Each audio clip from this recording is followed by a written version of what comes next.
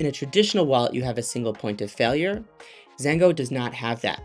In our MPC model, we use a two of two system with two secret shares, the personal share and the remote share. After you download the app, one thing happens in two locations simultaneously in different ways.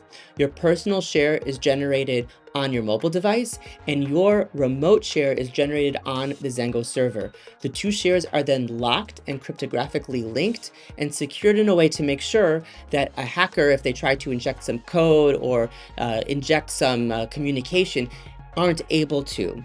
This ensures that the two shares can speak with each other.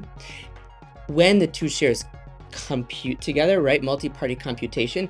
The result of that computation is equivalent to what a traditional wallet does, a traditional private key or seed phrase based wallet.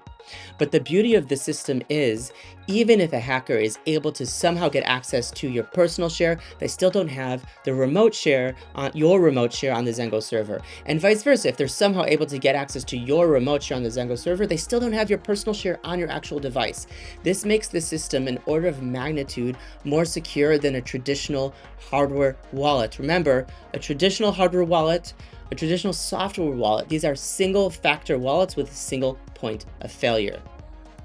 So you can see again, the personal share, which is the only share that can originate a transaction. The remote share is there to help co-sign a transaction. And then the blockchain accepts the transaction like it would any transaction. It doesn't know that this is coming from an MPC wallet versus a traditional wallet.